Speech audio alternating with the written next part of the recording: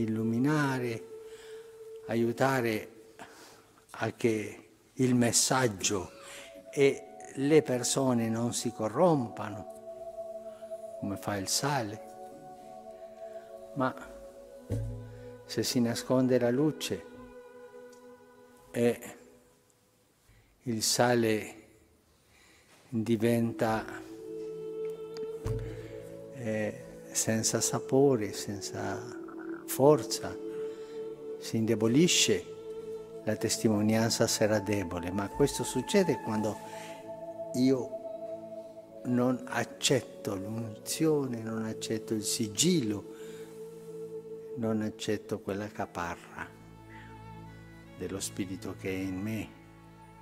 E questo si fa quando non accetto il sì in Gesù Cristo.